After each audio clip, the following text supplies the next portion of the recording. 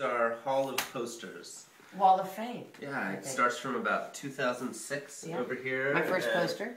It kind of comes down the hall and then back and around. It's all kind of out of order, but there's uh, years and years of local shows and tour national shows, yeah. and, and opening for bands. There's several shows. Every show we're gonna mean, posters you that know, show every you just show come right, tour. You, you can come right around all the way down here, and There's our South by Southwest from last this year. was last year, and you can see Pardon our me. free week, recent free week shows here, and even around the corner here with some some other shows we did. That was one of my favorites.